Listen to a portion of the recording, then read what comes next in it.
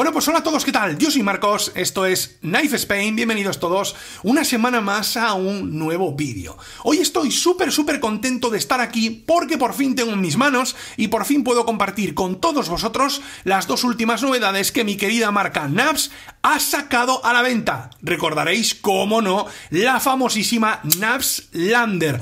Esa navaja, bueno, esta navaja que estáis viendo y que ha causado furor en este año 2023 dentro del mundo EDC un diseño espectacular, unos muy buenos materiales y el hecho de que se le puedan cambiar las cachas ha hecho que Navs Lander sea uno de los mejores EDCs en este año 2023. Pues hoy vengo a enseñaros su versión grande y un nuevo producto que Navs ha sacado a la venta, un cuchillo enterizo que sirve absolutamente para todo.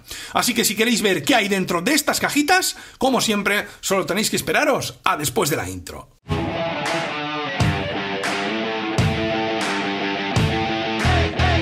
Bueno gente, pues ya estamos de vuelta y antes de ver qué hay dentro de estas cajitas, dejadme recordaros que durante todo este fin de semana, por el Black Friday, canjeando el cupón BF 2023, obtendréis un 8% de descuento en cualquier compra que hagáis en nuestros amigos de Cuchillería Gómez. Dicho esto, ahora sí, vamos a apartar estas cajas grandes que las voy a dejar para el final y vamos a comenzar a ver estas nuevas Navs Lander 2, que llevábamos esperando por ellas un montón de meses hace que se habían anunciado y no acababan de salir a la venta. De hecho, en Gómez ya las podéis comprar, pero no se podrán servir por orden de la empresa hasta el 1 de diciembre, ¿vale? Así que eso tenerlo claro, que si ya compráis hoy, hasta el 1 de diciembre no se os pueden servir porque digamos que es el día oficial de venta de este producto. Aquí tengo los dos modelos o los dos acabados en los que actualmente se fabrica esta Lander 2. Por un lado tendríamos, espera que no lo sé, a ver que se ve aquí.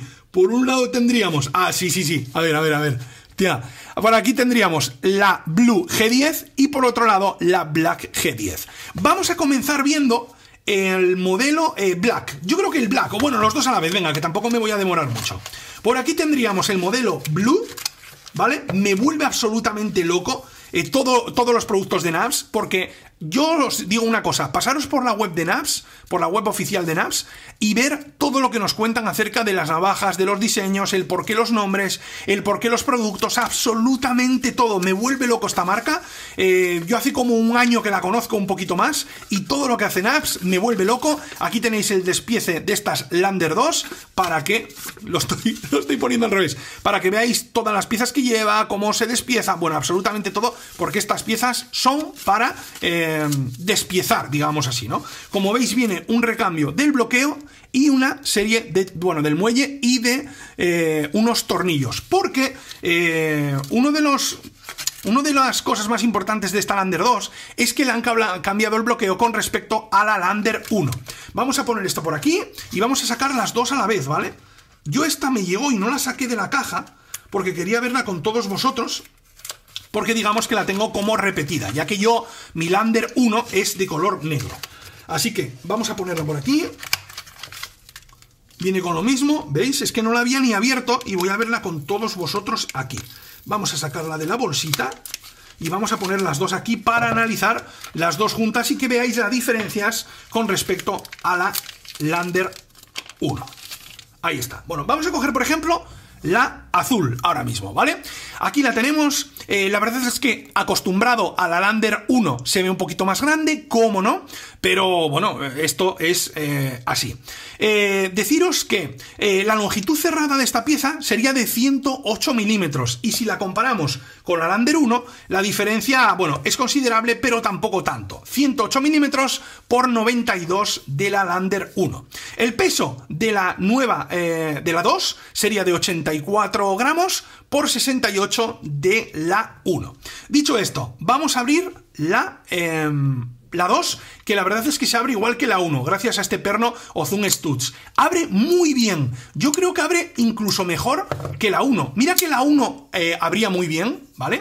Pero yo creo que la 2 abre mejor. Esa al menos es mi sensación. Abre más suave. Lleva rodamientos eh, de cerámica. No recuerdo los de la 1 si llevaba también, yo creo que sí, pero a mí me gusta más la apertura de, la 2, sinceramente. Vamos a poner esta por aquí, vamos a coger esta por aquí, deciros una serie de datos muy importantes y es que la, eh, la Lander 1 la fabricaba QSP, ya sabéis, están fabricadas, estas dos Lander están fabricadas en China, ojo, ¿eh? la Lander 1 estaba fabricada por la marca QSP, ¿vale? Y eh, la Lander 2 está fabricada por Kaiser. ¿Por qué han fabricado la 2 en Kaiser y la 1 en, en, QSP? Sencillamente porque Ben Peterson, que es el diseñador y nuevo, y nuevo sí, y jefe de NAPS y dueño de NAPS, le gustaba muchísimo el bloqueo que había hecho Kaiser y quería cambiárselo, o Kaiser, y quería cambiárselo, porque el bloqueo de la 1, a ver si lo veis por ahí, el bloqueo de la 1 era Liner Lock, y dijo voy a hacer una versión más grande, pero digamos que mejorada, así que vamos a meterle un nuevo bloqueo. Por eso, esta segunda eh, la fabrica Kaiser, ¿vale? Digamos que el bloqueo como vais a ver ahora, es un bloqueo muy parecido al de las Benchmade. El bloqueo creo que ellos lo han llamado eh, clutch look, ¿vale? O cerradura de embrague, ¿vale? Digamos que es como una adaptación a la cerradura de barra transversal. Pero bueno, para que os hagáis una idea, sería más o menos el bloqueo de las Benchmade. La verdad es que va de manera espectacular. Una diferencia también entre las, eh, la 1 y la 2 es el acero. Y es que en, la 1 el acero era de 2 y también algunas piezas venían en, en 14C28N. Pero en esta Lander 2 damos un salto de calidad y nos encontramos con acero S35VN, un acero muchísimo mejor que el D2 o que el 14C28N. Es verdad que en, el modelo 1 hay algunos modelos especiales y ediciones limitadas que llevan el S35VN, pero las normales, las normales llevan D2 y 14C28N. Dicho esto, una vez que las tenemos abiertas, ahí veis las diferencias, ¿vale? Eh, la 2 tendría 188 milímetros por 162, la longitud de hoja sería 82 eh, por 70 que tiene esta y el grosor de la hoja en las dos sería de 2,5 milímetros. ¿Qué más cositas hay que decir? Por lo demás son exactamente iguales. O sea, cambiaría el tamaño, obviamente el peso, eh, el acero y también cambiaría el bloqueo, que para mí yo creo que es la parte más importante de estas Lander 2. Eh, ¿Qué más cositas? Vamos a guardar la azul por aquí. La azul me parece brutal, brutal, ¿vale? Me parece guapísimo, me gusta muchísimo el diseño. Fijaros arriba la cremallera que lleva para nuestro dedo pulgar. Digamos que las diferencias entre una y otra serían las mismas, las mismas que entre una Bugout y una Mini Bugout. Esta sería la Bugout de Benchmade, el tamaño es exactamente igual, no creo que haya medio eh, centímetro, no, lo hay, ¿vale? Y esta sería el tamaño de la Mini Bugout. No quiero enseñarlas aquí porque al final el vídeo es de las eh, de NARS, pero bueno, quiero que lo sepáis. Pero ahora que tenía muchas ganas de, em, de, compararla, digamos así, abre mejor, ¿eh? Abre mejor. A ver, abre mejor.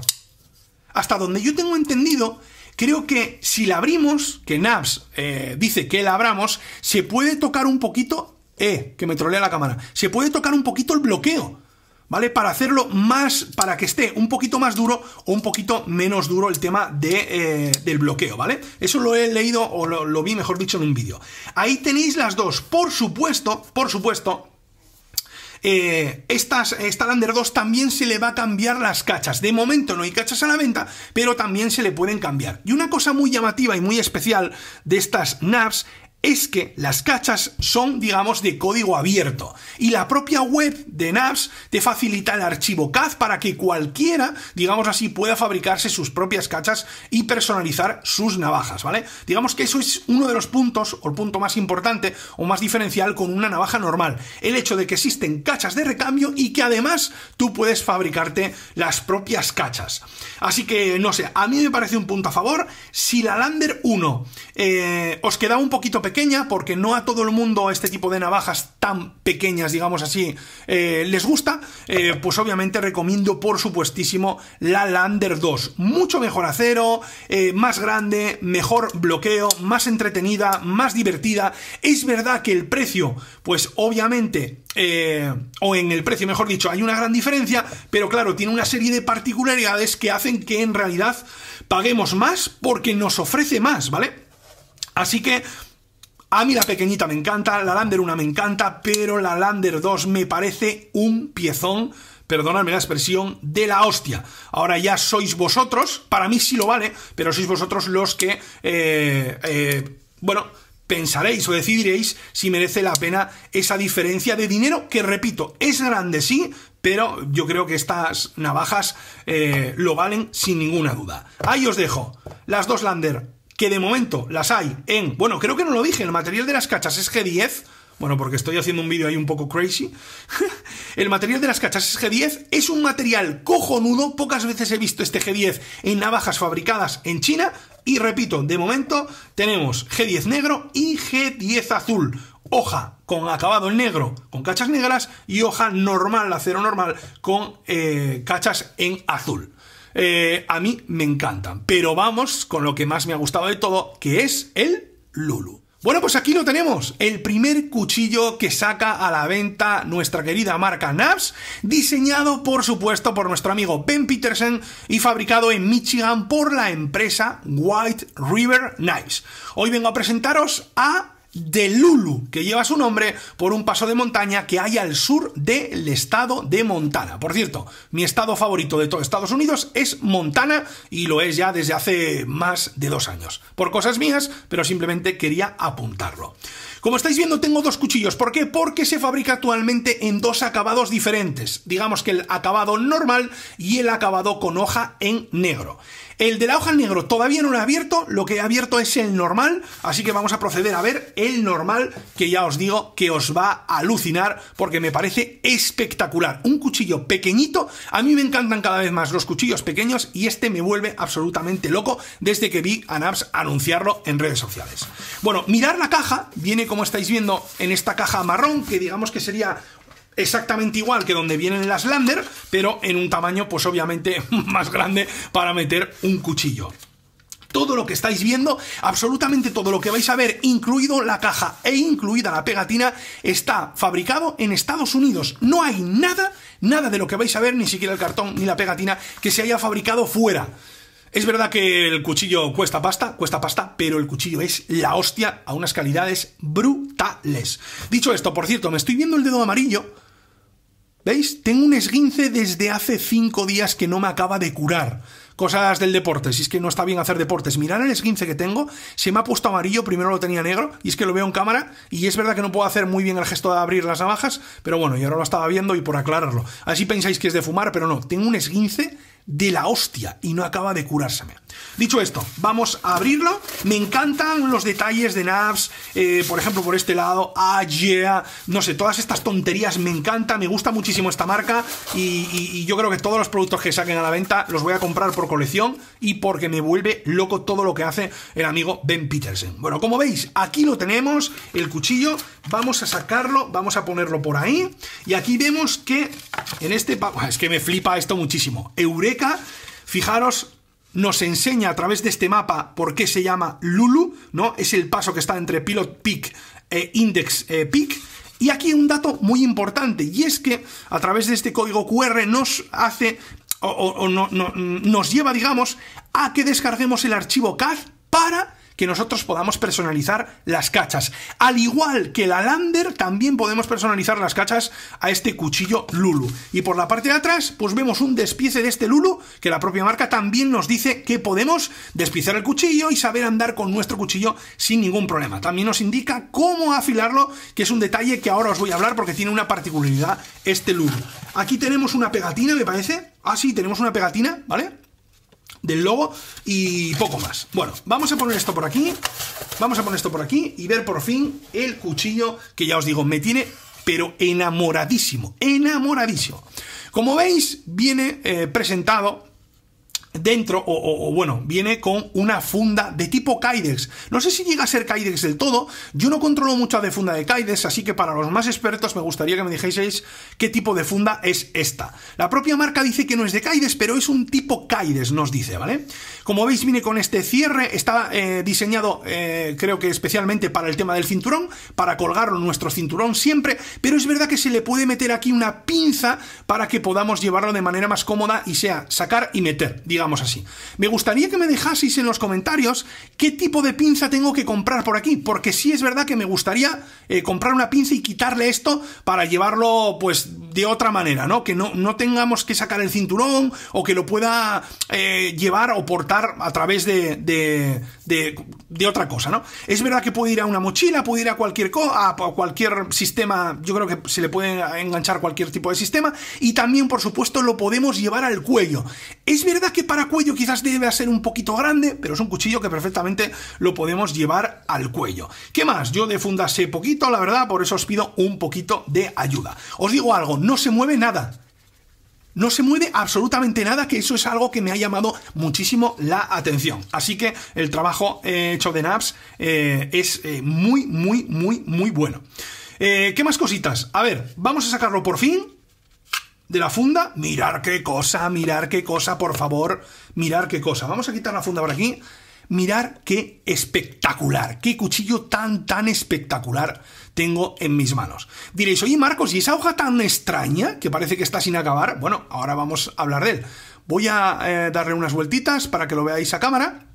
He deciros que una vez que lo tenemos en la mano, vemos que es un cuchillo súper, súper robusto y súper duro. Parece eh, indestructible, la verdad, diría yo. El peso que tiene eh, en mano sería de 108 gramos y con la funda creo que rondaba los 167. Es verdad que la propia marca vende una funda de cuero muy, muy chula, pero no sé si llegará a España porque creo que no van a sacarla, al menos de momento, de los Estados Unidos, ¿vale? Así que será difícil conseguirla en Europa. Pero bueno, hay gente muy top en España que seguro que os puede fabricar una funda de cuero para este cuchillo.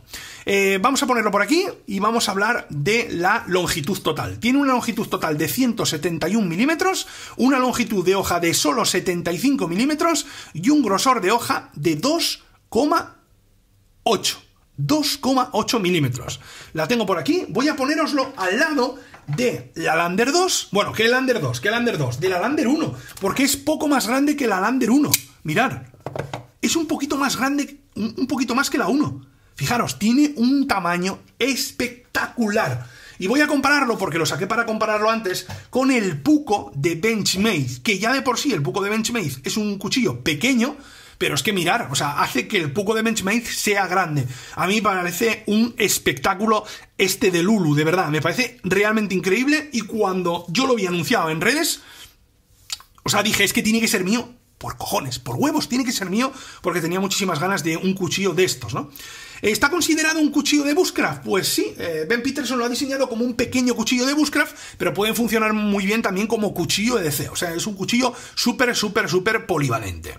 Eh, dicho esto, vamos a quitar esto por aquí y vamos a comenzar viendo las características de este Lulu. Como estáis viendo, hoja drop point, ¿vale? Con vaciado Scandi, hoja en crudo, como estáis viendo. Digamos que es como si la acabasen de, de machacar ahora con un martillo, porque no tiene ningún tipo de tratamiento ni de acabamiento absolutamente nada. Es el acero puro y duro. Por eso digamos que no hay dos cuchillos iguales. ¿Ves que tiene esas marcas? Esas marcas no son de ahora de que yo lo haya usado ni mucho menos, sino de que el acero es tan bruto. Es así. ¿Veis? Y eso, bueno, habrá gente que le pueda gustar, Habrá otra gente que no. A mí me vuelve absolutamente loco el hecho de que sea un cuchillo totalmente distinto a lo que estamos acostumbrados. Así que el hecho de que no lleve ningún tratamiento, ni ningún lavado a la piedra, ni ninguna cosa rara, hace que según ellos sea más fácil que se raye y que tenga marcas. Pero para mí no es importante. Yo digo que un cuchillo de estos tiene que tener marcas y tiene que tener uso. Para eso se hace, ¿no? Em, como os decía, hoja de tipo drop point con vaciado Scandi y algo muy importante y es que lleva, no sé si lo podréis ver, un microbisel.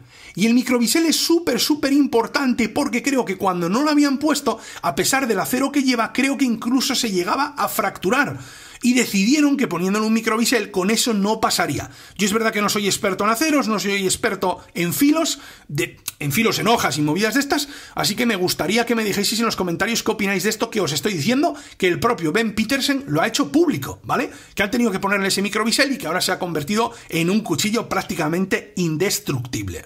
¿El acero en el que está fabricado? ¡Oh! Pues el acero en el que está fabricado me vuelve absolutamente loco, porque es el mejor acero que hoy en día se puede conseguir. Acero caro, sí, pero es el mejor acero sin ninguna duda. Y es acero CPM Magnacut, con una dureza de 62 HRC. Este acero es el mismo que lleva la Chris River Knives que os enseñé hace un 3-4 meses. O sea, el acero más top que se puede conseguir hoy en día es el que lleva este cuchillo. De ahí, obviamente, su precio. ¿Qué más cositas? ¿Qué más cositas? Por supuesto, hay que hablar del mango. Un mango súper, súper, súper, súper cómodo. Fijaros, no es un mango plano, sino que tiene un poquito de panza, es un mango grueso que hace que podamos trabajar horas y horas con él sin hacernos daño en la mano. Me parece realmente espectacular el diseño de este cuchillo. Ben Peterson ha dicho que llevaba 10 años detrás de fabricar su propio cuchillo y creo que eh, no ha dejado a nadie indiferente porque me parece espectacular. Bueno, fijaros ahí en este lado de la hoja que pone Lulu Magna Cut. Me parece impresionante el cuchillo. Eh, las cachas están fabricadas en, Joder, en G10 digo, sí. En mi carta verde con G10 de color rojo. Le da un toque espectacular. Y esta mi, carta, esta mi carta, porque yo he visto el de Ben Peterson usado, va cogiendo incluso tierra, va cogiendo un color eh, realmente bonito, va cogiendo como una pátina y hace que todavía nuestro cuchillo sea más espectacular y que no haya ninguno igual.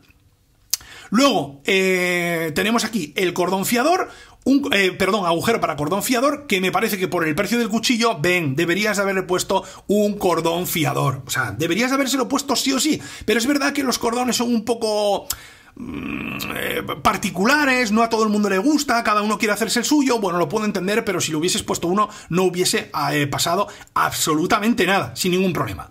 Y como os decía, un tamaño realmente espectacular, un tamaño que funciona muy bien como el día a día y otra cosa que me gusta muchísimo es el tema de los tornillos, tornillos planos, todo el mundo tiene un destornillador plano a mano, podemos quitarlo sin ningún problema y montar nuestras propias cachas. Por cierto, ahí os estaré dejando posiblemente una foto para que veáis cómo es el cuchillo sin las cachas, cuchillo enterizo, eh, esqueletizado y como estáis viendo, aligerado por la parte central, obviamente para que pese menos. Y por supuesto no puedo acabar este vídeo sin enseñaros la versión en negro, que está, como antes os decía, sin abrir. Así que qué mejor manera que abrirlo con, este, con el mío. Yo me voy a quedar con este seguro, a no ser que este negro me vuelva absolutamente loco, pero yo creo que prefiero más este por el tema de que ya os digo que el acero es tan crudo, la hoja es tan cruda y, es un tanto diferente. Vais a ver aquí cómo viene presentado exactamente el... Em, el, el, de color negro, bueno, cualquiera de los dos. Voy a sacarlo directamente por aquí para no tocar mucho más. A ver si... No, no, no. A ver si la vamos a liar y me voy a cortar. Parar un momento. Ahí. Vamos a poner esto por aquí, vamos a sacarlo por aquí y vais a ver aquí en todo su esplendor el de color negro. ¡Oh, qué bonito es! ¡Fu, qué bonito es! ¡Hostia, qué bonito es, ¿no?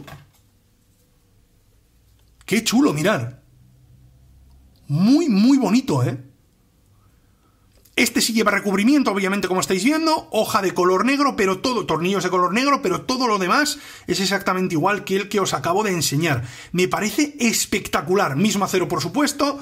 Lo hace quizás un poquito más táctico, quizás para el cuello sea mejor opción que el otro, no sé, por el hecho de que sea un poquito táctico, pero me parece realmente espectacular. Súper, súper bonito. Me gustaría que me dejaseis en los comentarios con cuál de los dos os quedaríais. Si con el normal con ese acabado, bueno, acabado no, con, esa hoja en crudo, ¿no? O con el de color negro. Me parecen realmente espectacular. Y no podría acabar este vídeo sin probar este filo Scandi que ya os digo que corta como los demonios. Es verdad que este cuchillo al final está diseñado como un cuchillo de tipo bushcraft con el que podemos eh, pues trabajar la madera, tallar la madera, hacernos pequeñas cucharas, pero también va muy bien como eh, cuchillo de o para procesar alimentos o para todo. Para mí es un cuchillo todoterreno, muy utilizable y, como no, eh, un cuchillo para que no quede en casa y darle mucha, mucha, mucha caña. Bueno, gente, pues nada más, hasta aquí el vídeo de hoy. Dejadme por favor en los comentarios qué novedad os ha gustado más de las que hoy os he enseñado. El Lulu en negro, el Lulu normal, la Lander 2 en azul, la Lander 2 en negro, toda negra, o directamente la Lander 1, que por tamaño pues es la que más os gusta al ser pequeñita. Lo que queráis, dejádmelo en los comentarios. Nada más, nos vemos en el próximo vídeo, donde si no, aquí en Knife Spain, en vuestro canal favorito de cuchillería. Este no queda aquí, que me lo roban. Este va conmigo para el bolsillo, pero como está mandado. ¡Chao!